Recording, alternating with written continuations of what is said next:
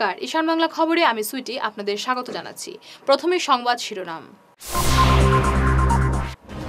মাত্র আটানব্বই লক্ষের জন্য কাগজ কল বিক্রি, মোদীকে আক্রমণ সুস্মিতার চলে গেলেন কমিউনিস্ট নেতা দীপক ভট্টাচার্য এক যুগের অবসান। কাটিগোড়ায় জোড়া লাশ উদ্ধার চাঞ্চল্য।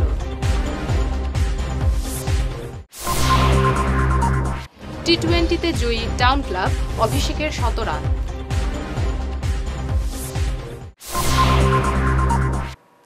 এবারে বিস্তারিত খবর।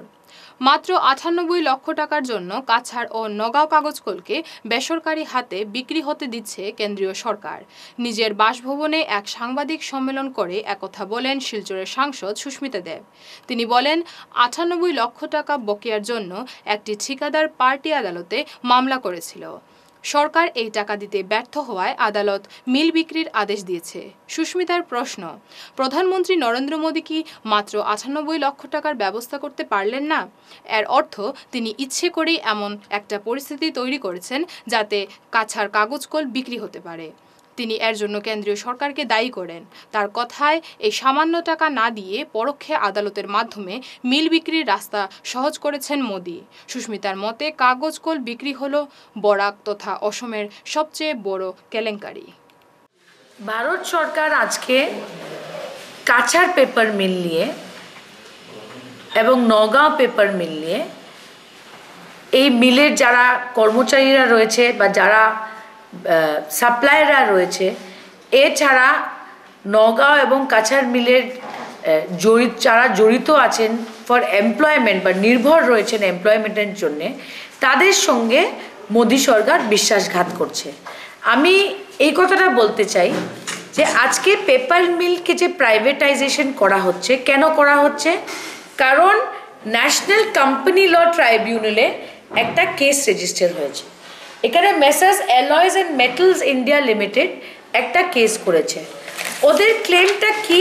ওরা আজকে পেপার কর্পোরেশনের কাছ থেকে শুধু approximately ninety eight ninety eight lakhs টাকা ওরা দাবি করছে কোর্টে এবং এই নাইনটি এইট ল্যাক্স যদি মেসার্স অ্যালয়েজ আর মেটালসকে দেওয়া হয়, তবে কাছার পেপার মিল বিক্রি হয় না। আমি বলতে চাই আজকে যে কাছার পেপার মিলের আজকে অ্যাপ্রক্সিমেটলি আমি মনে করি থ্রি থাউজেন্ড একর্স জমি আছে। ওদের ল্যান্ডের ভ্যালিউ আজকে হাজার হাজার কোটি টাকা। আজকে যদি নরেন্দ্র মোদীজি জয়েন্ট ভেঞ্চার করত, একটা টোয়েন্টি ফাইভ বা twenty six percent share holding বিক্রি করে টাকা তুলে এটাকে চালাতো, সরকারের ক্ষতি হয় না। আজকে শুধু একজন ব্যবসায়ী টেন্ডার দিয়েছে, একজন গুজরাটের এনআরআই যাকে অনেকে স্বাগতম জানাচ্ছেন। আমি কাছাড় এবং আসামের জনসাধারণকে এটা বলতে চাই যে আজকে হাজার হাজার কোটি টাকার প্রপার্টি নরেন্দ্র মোদীজি কোর্ট কেসের মাধ্যমে বিক্রি হতে দিচ্ছে আন্ডার ভ্যালিউ কম পয়সায়। তো আজকে বেস প্রাইস মিনিমাম প্রাইস হলো seven hundred and fifty crores war এস কাছার পেপার মিলে হিন্দুস্তান পেপার কর্পোরেশনে মুম্বাইয়ের অফিস আছে সল্ট লেকে গেস্ট হাউস আছে কলকাতায় অফিস আছে দিল্লিতে অফিস আছে প্রত্যেকটা প্রপার্টির যদি ভ্যালু দেখা যায় it will run into thousands of crores হাজার হাজার কোটি টাকার প্রপার্টি ধবধবে সাদা পাজামা, পাঞ্জাবি পরা সদা হাস্যময় সেই লোকটিকে আর দেখা যাবে না। মঙ্গলবার ভোর ছটায় এই পৃথিবীকে বিদায় জানিয়ে চিরদিনের মতো চলে গেলেন কমিউনিস্ট নেতা প্রাক্তন বিধায়ক দীপক ভট্টাচার্য। শিলচর মেডিকেল কলেজ হাসপাতালে তিনি শেষ নিঃশ্বাস ত্যাগ করেন। তার বয়স হয়েছিল উনসত্তর বছর। মৃত্যুকালে রেখে গেছেন তার স্ত্রী ও অসংখ্য অনুরাগীদের। তার মৃত্যুতে গভীর শোক প্রকাশ করেছে বিভিন্ন ব্যক্তি ও সংগঠন। তিনি দীর্ঘদিন সিপিএমের কাছাড় হাইলাকান্দি জেলা কমিটি সম্পাদক ছিলেন। তার মৃত্যুর খবর ছড়িয়ে পড়ার সঙ্গে সঙ্গেই তাকে শেষ দেখা দেখতে ছুটে যান অনেক লোক। তিনি ছিলেন দলমতো, নির্বিশেষে সবার প্রিয়। প্রতিটি সামাজিক কর্মকাণ্ডে তার থাকত বিরাট অবদান। তার মৃত্যুতে এক যুগের অবসান ঘটল।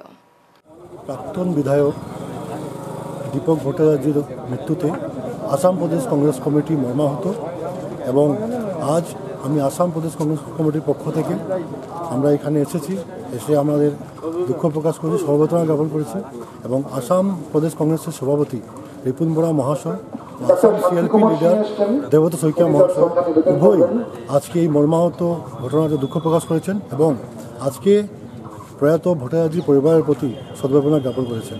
আমরা আশা করি উনি যেভাবে বিরল কাজ করে গেছেন সেই নীতি আদর্শকে বর্তমান সমাজ এগিয়ে নিয়ে যাবে। এবং এই বর্তমান কঠিন সময়ে আমরা আসাম প্রদেশ কংগ্রেস কমিটি ও সমগ্র কংগ্রেস পরিবার এই পরিবারের পাশে আছে। দীপক কমৰেড দীপক ভট্টাচাৰ্যীৰ মৃত্যুত আজি চি পি আই এমৰ অসম ৰাজ্যিক কমিটিয়ে গভীৰ শোক প্ৰকাশ কৰিছে তেখেতৰ স্মৃতিলৈ শ্ৰদ্ধা জ্ঞাপন কৰিছে। আৰু শোকসন্তপ্ত পৰিয়াললৈ সমবেদনা জ্ঞাপন কৰিছে। কমৰেড দীপক ভট্টাচাৰ্যী দীৰ্ঘদিন চি পি আই এমৰ অসম ৰাজ্যিক কমিটিৰ তেওঁ মেম্বাৰ আছিলে কাছাৰ জিলাৰ বৰাক ভেলীত তেখেতে বিভিন্ন পদত থাকি ইয়াৰ গণতান্ত্ৰিক আন্দোলন শ্ৰমিক কৃষকৰ আন্দোলনত বিৰাট অৱদান আগবঢ়াই গৈছে।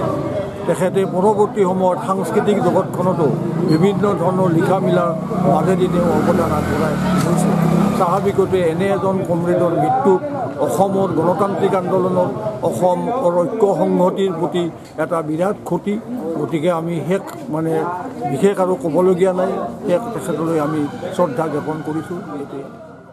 প্রাক্তন বিধায়ক দীপক ভট্টাচার্যের মৃত্যুতে শোকস্তব্ধ গোটা হাইলাকান্দি শিলচর মেডিকেল কলেজ থেকে তার মরদেহ নিয়ে যাওয়া হয় হাইলাকান্দিতে, তার পৈতৃক বাড়িতে।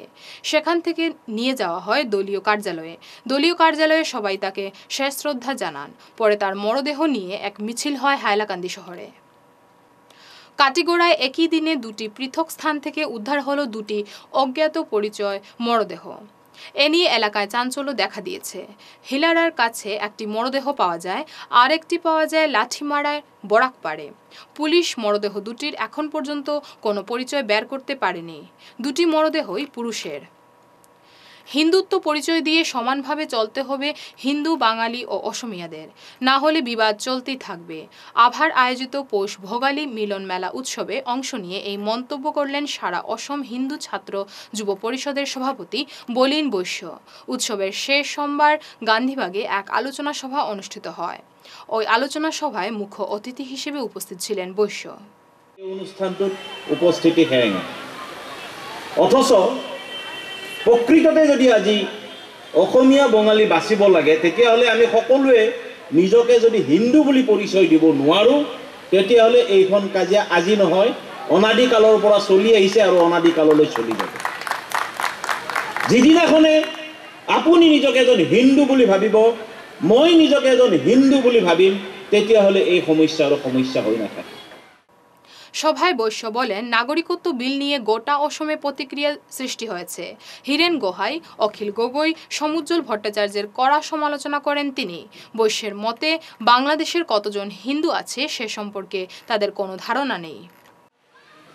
আনিব বিচাৰিছে, ভাৰত অসমত নহয়, ভাৰতবৰ্ষতে। তাত অসমত এটা ব্যাপক প্ৰতিক্ৰিয়াৰ সৃষ্টি হৈছে। কিহৰ কাৰণে? কেইজনমান লোকে এই কথাটো অসমীয়া ভাষী মানুহখিনিৰ মানস পটত এইটো বীজ অংকুৰিত কৰিছে যে এই বিলখন অহাৰ পিছত কোটি কোটি বাংলাদেশী হিন্দুক অসমলৈ লৈ আনিব আৰু ত্ৰিপুৰাৰ নিচিনা অসমৰ পৰা ভাষা সংস্কৃতি হেৰাই যাব। সেই যিকেইজনে নিজকে বুদ্ধিজীৱী বুলি ভাবে যেনে হীৰেণ গোহাঁই যেনে অখিল গগৈ যেনে সমুজ্জ্বল ভট্টাচাৰ্যী বা ইত্যাদি কৰি যিবিলাক আজিকালি আছে মনজিত মহন্ত ইত্যাদি যিবোৰ আছে তেওঁলোকৰ নিজৰ সংজ্ঞা নাই যে বাংলাদেশত এতিয়া হিন্দু মানুহ কিমান আছে। নাজানে তেওঁলোকে। তেওঁলোকে টিভিৰ টক শ্ব'বিলাকত কৈ থাকে এতিয়াও শান্তিত আছে বাংলাদেশত হিন্দু মানুহ। আমি জানো বাংলাদেশত হিন্দুৰ কি অৱস্থা হৈছে আমি জানো কাৰণ এই বিষয়টোলৈ আমি সদায় চৰ্চা কৰোঁ। কুড়ি দিনে এগারোটি বাইক চুরি হয়েছে মেডিকেল ক্যাম্পাস থেকে। তাই মেডিকেলের ভেতরে পুলিশ আউটপোস্ট চাইলেন ছাত্র ও কনিষ্ঠ ডাক্তাররা। মঙ্গলবার এই দাবি নিয়ে ঘুঙ্গুর ফাঁড়ি ঘেরাও করলেন মেডিকেলের ছাত্র ও কনিষ্ঠ ডাক্তাররা। তাদের অভিযোগ, মেডিকেলের ভেতরে তাদের কোনো নিরাপত্তা নেই। বাইক চুরি ছাড়াও প্রায় সময় ল্যাপটপ, মোবাইল চুরি হচ্ছে। সঙ্গে ডাক্তারদের উপর নানা সময় হামলাও চলে। এইসব অভিযোগে ঘুঙ্গুর ফাঁড়ি উত্তাল করে তোলেন তারা।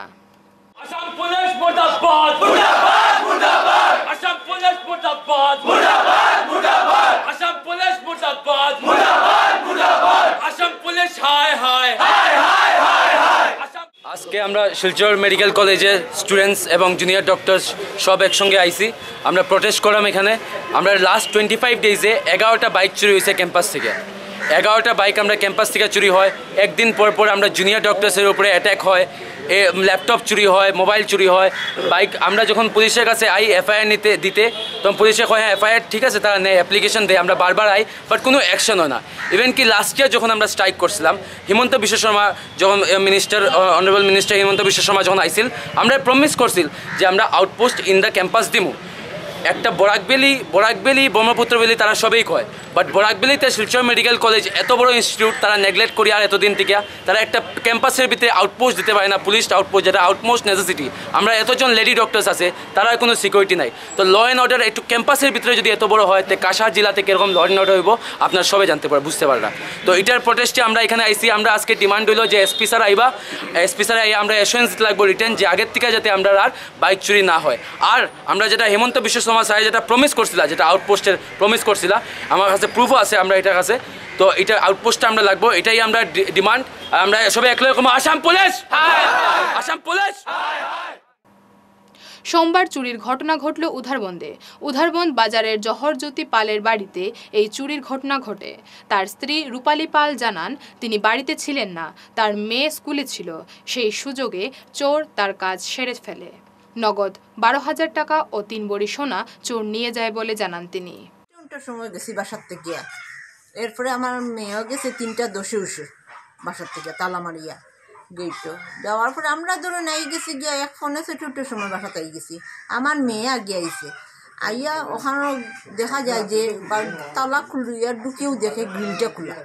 এরে গ্রিল খোলা খানে আর টুকতে আগাইছে আগাইয়া দেখে দরজা খোলা। এরে ও তাই সিলাই দিয়া কইছে বাইয়া তুই তাড়াতাড়ি আয় আমরা ইয় দরজা খোলা গ্রিল খোলা ও হেও আইছে দৌড়াইয়া পরে আমার জাল আইছে আমার দেউরের মেয়ে আইছে আইয়া তারা দেখে টর্চ লইয়া লাইট জ্বালাইয়া ও খোলা এরপরে তুই তো নিচের আলমারি খুলছে লোকার খুলছে খুলিয়ে কেন সোনা আছে সোনা নিছে উফরে গেছে গিয়া উফরে আলমারি খুলছে লোকার খুলছে খুলিয়া টেকা পাইছে টেকা নিছে এটা একটু তসন ধরছে। কিন্তু এম- মানে জিনিস উনিস যে বাসনপত্র ধরছে এটা কিচ্ছু করছে না আবার।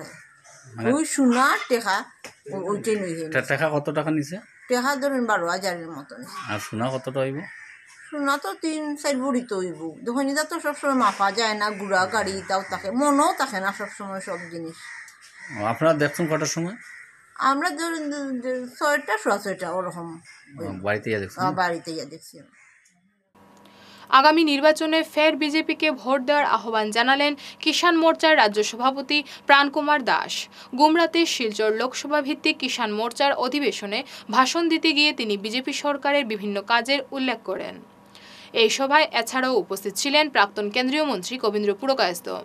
পশ্চিম কাটিগড়া জেলা পরিষদ সদস্য লাভলি চক্রবর্তী, সুব্রত চক্রবর্তী, বিধায়ক অমরচাঁদ জৈন, শান্তনু নায়েক, নিবাস দাস, অসীম দত্ত প্রমুখ। মজার ঘটনা ঘটল আদালত চত্বরে।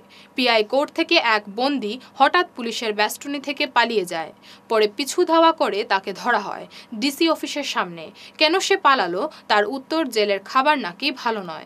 তার পালানো দৃশ্যটি অবশ্য ছিল দর্শনীয়। বদরপুর আইসিডিএস এর নয় নম্বর রাকপাশা আঙ্গনওয়াড়ি কেন্দ্রে ব্যাপক দুর্নীতির অভিযোগ উঠেছে। সবসময় এই কেন্দ্র বন্ধ থাকে বলে অভিযোগ। এই কেন্দ্রের জন্য বরাদ্দ সব সামগ্রীর হরিলুট হচ্ছে বলে জানালেন এলাকাবাসীরা। তারা এই বিষয়ে অবিলম্বে ব্যবস্থা নেওয়ার দাবি জানান, যেসব ছাত্রের নাম লেখা রয়েছে, সেই নামের কোনো ছাত্র নেই গ্রামে। আমাদের এখানে দু হাজার দুই থেকে দু হাজার সতেরো আঠারো পর্যন্ত এই বিগত প্রায় কত বছর? আঠারো বছর? ষোলো বছর। এই ষোলো বছর প্রথম দিকে ছিলেন এখানের মুন্নার পুরো নামটা কি? রফিক আহমদ ছিলেন। উনি ওয়ার্ড মেম্বার প্লাস এখানের প্রেসিডেন্ট ছিলেন। এরপরে আমার জুবের আহমদ। উনি ছিলেন পরের আহ, তিন বছর চার বছর এরকম ছিলেন। এরপরে আবার রফিক আহমদ দুইটা টার্ম দুইটা টার্ম এইখানে খাটিয়েছেন। কিন্তু এই গ্রামের মানুষই এই প্রতিষ্ঠান কেন এবং ছাত্রবাসকে গার্জেনটাকে কেউ কারও চিনে নাই। মুদ্রার কথা দু হাজার দু থেকে দু হাজার আঠারো পর্যন্ত এই অঙ্গনওয়াড়ি সেন্টারের আন্ডারে পূর্ণ শিশু সুষম আহার খাদ্য বিতরণ করা হয়নি। হয়নি। হয়নি এবং পড়াশোনা হয়নি। এখানে যে সরকারি যে আসবাবপত্র যেগুলো আসে সরকারের কর্তৃক প্রদত্ত এইগুলো আসবাবপত্র কোথায় গেছে? আপনারা কি কোনো জবাবদিহি করেছেন অঙ্গনওয়াড়ি ওয়ার্কারকে? জবাবদি করেছি। হ্যাঁ কিছুটা খবর পেয়েছি যে আমাদের পূর্ববর্তী যে মমতাজ বেগম ওয়ার্কার উনি স্বামী বলছেন এখনও পর্যন্ত টেবিল উনার করে আছে। আর যেগুলা কুকিং ম্যাটেরিয়ালস যেগুলো হান্ডি বাসনপত্র দেওয়া হয়েছে কোথায় হারিয়ে গেছে আমরা কোনো খবরের সন্ধানও পাই না কোথায় রাখা হয় কোথায় এগুলো লুটপাট করা হয় আমরা জানতে পারি না। গ্রামবাসী হিসেবে আপনারা কিছুই জানেন না। আমরা এইসব ব্যাপারে কোনো কিছু জানি না। আমরা বারবার যেগুলো ইনকোয়ারি করার ব্যবস্থা নেওয়ার জন্য বিভিন্ন পদাধিকারীরা আর্জি জানিয়েছি কিন্তু তারাও সাড়া দেয় নাই। এমনকি আমাদেরকে বারবার থ্রেটেনিং দেওয়া হয়েছে এমনকি আমাদের মেরে ফেলার হুমকি দেওয়া হয়েছে যদি আমরা দুই হাজার ষোলো যেটা কেস করলাম টু থার্টি সিক্স নামে একটা কেস করেছিলাম লিগাল সার্ভিস অথরিটির ইনকোয়ারির জন্য। তখন আমাদের তিন মাস সময় দিয়ে থ্রেটেনিং দেওয়া হয়েছে। আমাদের যদি আমরা কেসটা উড্ড না করি তাহলে আমরা মেরে ফেলা হবে। কে দিয়েছিল? উনি দিয়েছেন একটা নাম্বার থেকে তবে উনি সাউন্ডটা আমরা বুঝতে পারছি হেলাল আহমেদ করি সরপুরের একজন মাস্টার। হেলাল আহমেদ এখানে কি? এখানে কোনো কিছু নেই। আগর ওয়ার্কার যে মমতাজ বেগমের পাশাপাশি বাড়ি। মেহেরপুর এমএসসি লেনের মজিবুর রহমান নামের এই রিক্সা চালককে সাহায্যের হাত বাড়িয়ে দিয়েছিলেন এরা। আগুনের সামনে না থাকলে লোকটির সারা শরীরে চুলকানি থাকত। এই রোগটিকে তারা ভালো করেছেন। সমস্ত খরচ এলাকার মানুষ দিয়েছেন। তার হাতে পঁয়ত্রিশ হাজার টাকা তুলে দেন যুব কংগ্রেসের প্রতিনিধি রাজা লস্কর, রানাউদ্দিন লস্কর, জয়নুল হক ও স্থানীয় নাগরিকরা। আজকে আপনারা দেখছেন যে মেহেরপুর এমসি এমএসসি লেনের একজন রিক্সা চালক মুজিবুর রহমান লস্কর। যে আপনারা দেখছেন যে বিগত কয়েকদিন আগে দেখছেন আপনারা এখানে লোকালিটির থেকে যে আমরা কয়েকজন ছেলে তার ভিডিওটা পোস্ট করছিল ফেসবুকে যে তার একটা রোগ হয়েছে যে রোগটা হইল গিয়ে আপনার আগুনের সামনে গেলে তার শরীরে যে চুলকানিটা বন্ধ হয়ে যায় যখন আগুন থেকে সরার পরে শরীরও চুলকায় খুব বাজে ধরনের একটা রোগ হয়েছে তাই আজকে আমরা একটা সিদ্ধান্ত নিলাম যে গত বিশ দিন আগে আমরা শিলচর মেডিকেল কলেজে তানে অ্যাডমিট করা হয়েছিল। করানির পরে যে এখন পর্যন্ত তার ট্রিটমেন্ট হইয়া তাই সুস্থ হয়েছুন এবং তার ট্রিটমেন্ট পরে যে যেগুলো খরচা লাগে এবং একজন রিক্সা চালক তার বহুত ধরনের টাকা পয়সার দরকার ট্রিটমেন্ট করতে গেলে এবং তার মেডিসিন কিনতে গেলে। তাই আজকে আমরা এখানে লোকালিটির যারা ছেলে আসি এবং আমি যুব কংগ্রেস থেকে নেজে আমি এখানে আইসি এই আমরা সবাই মিলে একটা ফান্ড কালেকশন করে আজকে তার হাতে তুলে দিছি। আর এই ফান্ডটা আমরা আরও দু একজন ভাই হুজাই তারা বহুত আমরা সাহায্য করছে।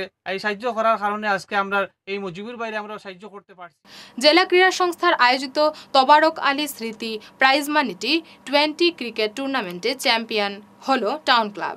ফাইনাল ম্যাচে তারা মুখোমুখি হয়েছিল ত্রিবেণী ক্লাবের বিরুদ্ধে। অভিষেক ও প্রতিমের জুড়িতে টাউন ক্লাবে রানের পাহাড় হয়ে দাঁড়ায়।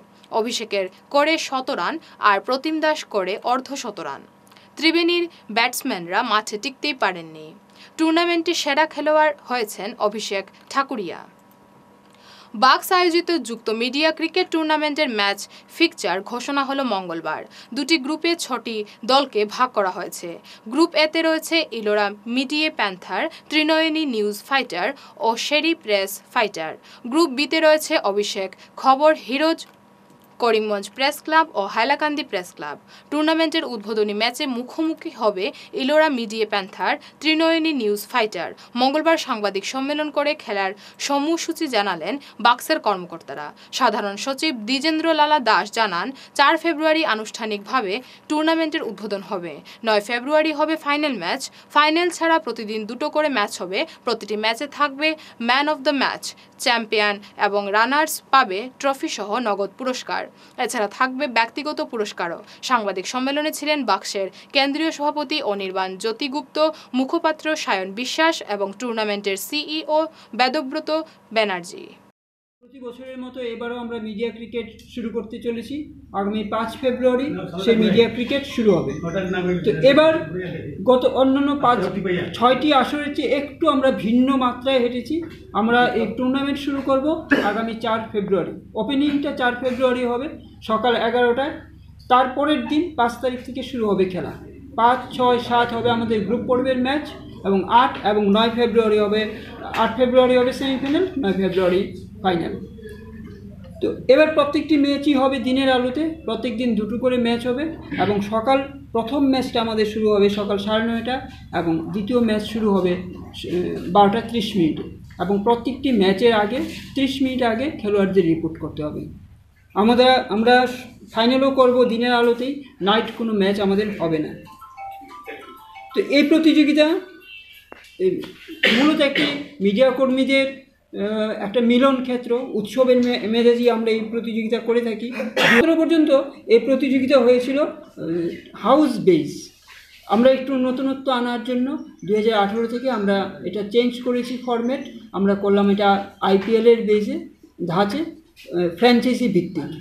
কেবল ডিফারেন্ট একটাই আইপিএলে নিলাম হতো আমরা এখানে নিলাম করি না, আমরা লটারির মাধ্যমে দলটা গঠন করে থাকি। দল অংশ নিচ্ছে, ছয়টা দলের মধ্যে চারটি দল শিলচরের এবং দুটি দল, একটা হাইলাকান্দি এবং একটা করিমগঞ্জ।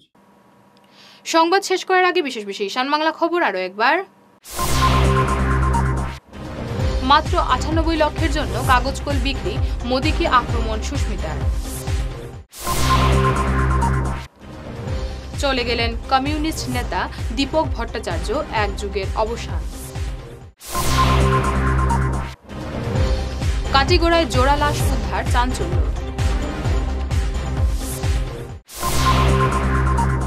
টি টোয়েন্টিতে জয়ী টাউন ক্লাব অভিষেকের শত রান